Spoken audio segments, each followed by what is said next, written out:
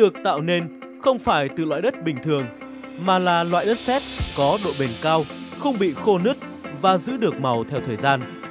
Từ loại bột đất này, với bàn tay khéo léo của những người thợ lành nghề sẽ cho ra đời những bông hoa bằng đất đẹp như thật và rất đa dạng về chủng loại.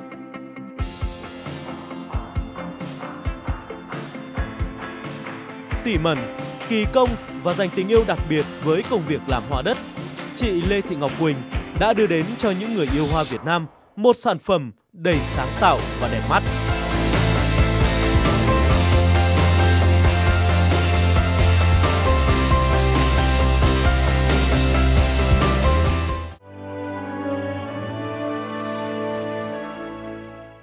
Xin chào quý vị khán giả của chương trình Net Việt Story. Thưa quý vị, như các bạn cũng có thể thấy là hiện nay thì ở Việt Nam chúng ta có rất là nhiều các loại hoa được làm từ các chất liệu khác nhau. À, có thể kể đến như hoa làm bằng nhựa, hoa làm bằng giấy hay là được làm từ à, sứ. Nhưng mà ngày hôm nay thì à, tôi mời quý vị và các bạn hãy cùng tìm hiểu về nghệ thuật làm hoa đất qua chia sẻ của chị Lê Thị Ngọc Quỳnh. À, trước tiên xin cảm ơn chị Ngọc Quỳnh đã dành thời gian chia sẻ cùng Net Việt Story ngày hôm nay. Xin chào Quang Trung và xin chào ờ, khán giả của Net Việt Story. Chị Ngọc Quỳnh thân mến, à, nói về nghệ thuật hoa làm từ đất thì có lẽ mọi người sẽ có nhiều những cái thắc mắc là tại sao đất có thể làm được ra các loại hoa đẹp như thế. À, chị có thể nói một chút để khán giả hiểu thêm về nghệ thuật hoa đất được không? Hoa đất thì, thì nó xuất phát từ Nhật Bản mà mới đầu thì mình nhìn thấy ở bên Nhật thì là mình cũng ngạc nhiên là không hiểu tại sao mà người ta có thể làm từ một cái cục đất nó vô tri vô giác thế mà trở thành những cái chậu hoa rất là sống động. Thì mình ờ, xem và mình nhìn thấy là mình mình mình muốn tìm hiểu thì tình cờ lại có một cái người bạn Nhật cho mình biết là người có một cái người nghệ nhân ờ, cũng là bạn của ông làm cái ờ, ngành đó thì ông dẫn đến để để học hỏi ở bên đấy. Thì từ đó mình biết đến hoa đất và chị đã có cái khoảng thời gian ở bên Nhật Bản để um, uh, học hỏi nó. Vâng mình học ở bên đấy được 4 năm. 4 năm của một bác người Nhật chuyên về hoa đất. Thì uh, ngoài cái học về về hoa đất rồi mình bác lại còn chỉ cho mình cách cắm về cắm hoa nữa. Ở Nhật ấy cái nghệ thuật cắm hoa của Nhật rất là nổi tiếng. Thì uh, ngoài cái uh, học hoa đất rồi họ dạy cho mình cách cắm thì là rất nhiều thứ. Điểm đặc biệt trong cái nghệ thuật hoa đất mà hiện nay chị đang thực hiện ở Việt Nam thì nó có cái điểm nổi bật như thế nào? Điểm nổi bật ở uh, hoa đất ở Việt Nam ấy, thì cái màu sắc, cái màu sắc ví dụ như trước đây mình học ở Nhật ấy, thì cái màu sắc nó rất trầm. Sau đó thì mình về Việt Nam thì mình phải thay đổi rất là nhiều về cái màu sắc, về cái uh, kiểu dáng. Ví dụ như là uh, cây chuối chẳng hạn, về Việt Nam mình lại phải học đấy mình học những cái đấy là là là nó nó nó tượng trưng cho Việt Nam mà. Ở ở Nhật thì nó cũng không có có chuối vì đấy là khí hậu ôn đới có nhưng mà nó không không phổ biến như Việt Nam. Thì những cái mà nó uh, đặc biệt như là sen hoặc là chuối thì mình phải nghiên cứu thêm rất là nhiều. Như tôi thắc mắc là uh, cái hoa làm từ đất thì cái chất liệu của đất thì nó sẽ là cái loại đất gì ạ? À, hay là tất cả các loại đất thì đều có thể là làm được hoa? Không cái đất sét của nhật ý, thì nó cũng có ba loại ba loại chính để làm hoa thôi. Nó không phải là cái đất tò he. Đấy, nó đất tò he của mình là làm từ bột nếp nhưng đây nó là từ cái chất bột cộng với cả keo và một số cái thành phần hóa học nữa thì tạo nên cái chất đất đấy. Hoa đất của mình là được làm từ đất sét dạ vâng. À, trong cái nghệ thuật hoa đất thì chị thấy là cái khó nhất để có thể là thực hiện được nó là gì ạ? Khó nhất trong nghệ thuật hoa đất chỉ có là cái tạo hình ấy, cái tạo hình bông hoa và cái cách tô màu. Pha màu cũng là một cái quan trọng. Coi như là tất cả những thứ đó nó mới kết hợp được là một bông hoa đẹp. Khi mà mình muốn đưa cái hoa thật vào trong hoa đất ấy, thì mình phải mua một cái bông hoa thật rồi mình nhìn tạo tạo gân nữa tạo gân của nó thì là mình đổ mình đổ trên cái silicon ấy, thì là tạo được cái gân lá đấy thì mình lại in cái đất đấy vào cái gân cái gân silicon ấy thì tạo ra cái gân à, như gân thật luôn. Rồi lúc đó thì mình tự uốn nắn lấy cái bông hoa.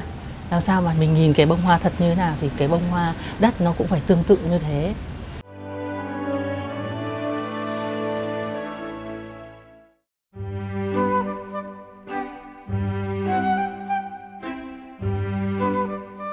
Nhiều loại hoa khác nhau với nhiều màu sắc như đang khoe sắc giữa không gian của một con phố nhỏ Hà Nội. Nếu không đến gần, không được tận tay sờ vào những cánh hoa đó, sẽ nhiều người nghĩ đó là những bông hoa thật.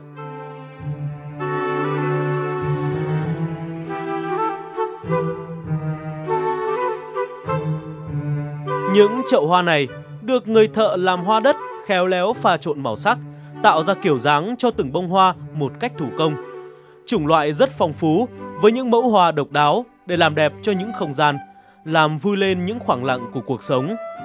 Hoa đất mới được du nhập vào Việt Nam trong thời gian gần đây, nhưng lại được rất nhiều người ưa chuộng bởi tính nghệ thuật cũng như tính ứng dụng của nó trong cuộc sống.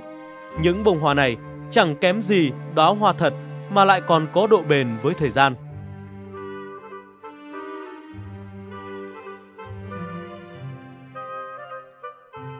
Cách đây 5 năm thì tình cờ bạn mình có dẫn mình lên à, cửa hàng để mua hoa. Và mình cảm thấy rất yêu thích cái à, bãi đất này và bắt đầu là học làm hoa. À, hiện tại cũng đã làm được 5 năm rồi. Và quá trình học thì nó cũng có rất nhiều cái khó khăn như là cách à, lăn uh, mo tô màu để tạo một cánh hoa tự nhiên. Thì đây là những điều khó khăn mà khi quá trình học uh, gặp phải.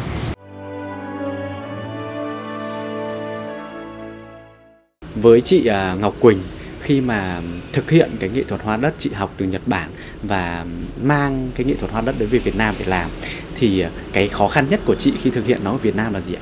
Ban đầu về thì đúng lúc về đến Hà Nội thì chưa có một cái hàng hoa đất nào cả. Lúc đó mình không biết là phải làm như thế nào.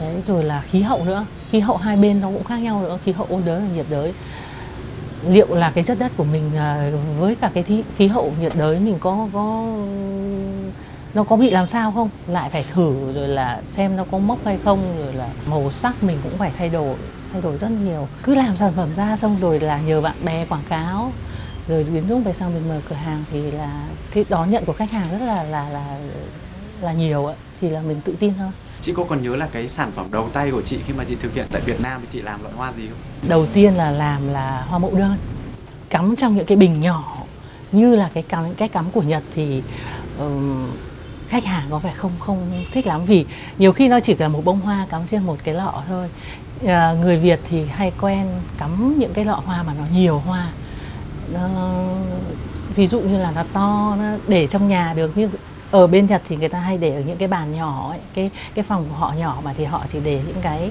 cái chậu hoa nó nhỏ nhỏ thôi. Thì lúc đó mình lại phải cải tiến lên. Mình cải tiến là à, mình phải cắm cái cách nào làm sao mà người Việt người ta có thể là là là trưng trưng bày nó phù hợp.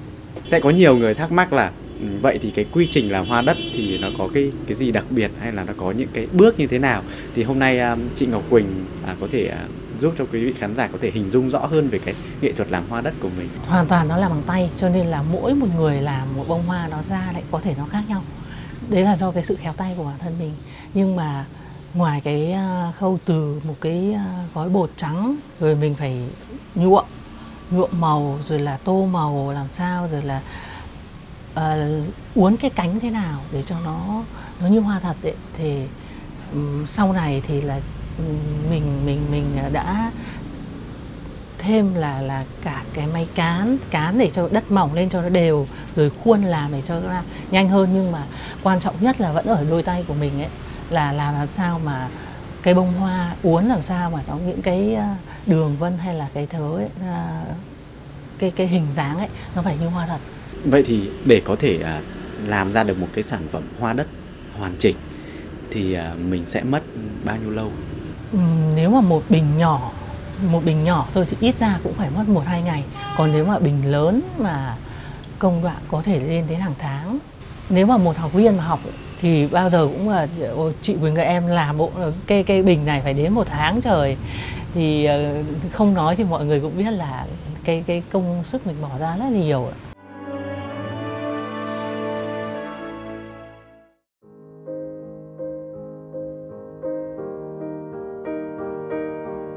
Nhiều người đến với nghệ thuật hoa đất này bởi tò mò và yêu thích sự sáng tạo. Nhưng có lẽ với chị Lê Thị Ngọc Quỳnh thì đó còn là cái duyên với nghề và đặc biệt là niềm đam mê. Là người đầu tiên đưa nghệ thuật hoa đất về Việt Nam. Chị mong muốn truyền tải đến mọi người một nét văn hóa độc đáo của người Nhật. Mỗi người tìm đến nghệ thuật hoa này với những mục đích khác nhau. Nhưng chị đến với nghệ thuật làm hoa từ đất để tìm kiếm những cảm xúc mới và bởi đó còn cho chị những sáng tạo mới. Nghề làm hoa đất rất kén chọn người. Đó là những người yêu hoa, yêu nghề, kiên trì học hỏi. Tuy nhiên, đó chỉ là điều kiện cần. Bên cạnh đó, còn cần tới năng khiếu, tài hoa và sự sáng tạo của mỗi người thợ, giúp những đóa hoa đất trở nên sinh động như hoa ngoài tự nhiên.